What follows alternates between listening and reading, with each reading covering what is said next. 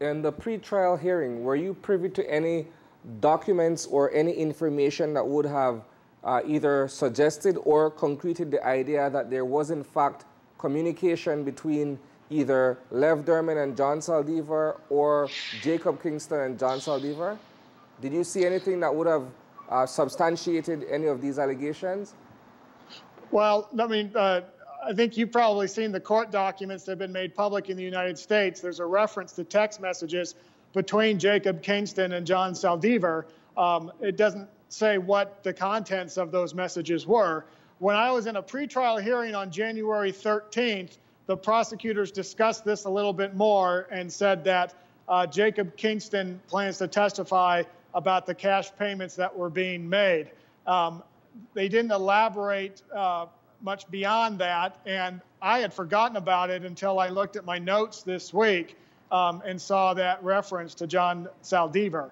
Um, uh, I mean, that, that's how much public corruption and money has been discussed in this case. Like, a, suppo- you know, allegedly bribing a, a minister in Belize didn't even uh, ring that many bells with me until I wrote it down and then I, I saw it in my notes later. Okay. Is there anything else of interest? I know that the court recessed today and the hearing will resume sometime in next week, Monday or Tuesday, if I'm not mistaken. But is there anything yeah. else of interest you can share with us insofar as new developments?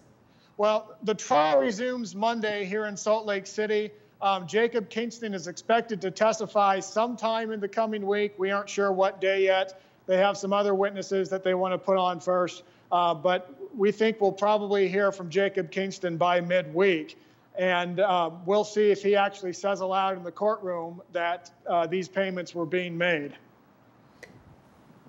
What weight or what gravity would this revelation have on the case? I, I, know you're, you're following it closely and you're not perhaps a legal mind in that sense, but what, what effect do you believe that this testimony would have on the overall trial against Lev Dermen? Well, I mean, that's an interesting question. Again, Lev Dermen isn't specifically charged with bribing anybody. He's charged with um, conspiracy and money laundering counts.